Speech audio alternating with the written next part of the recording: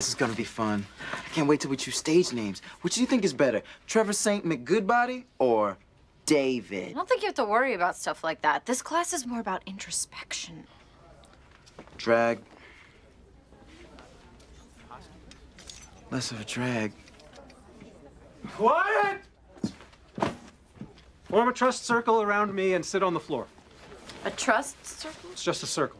It's a circle. Sit down. Acting is revealing expression. When we release pain, we become visible to each other.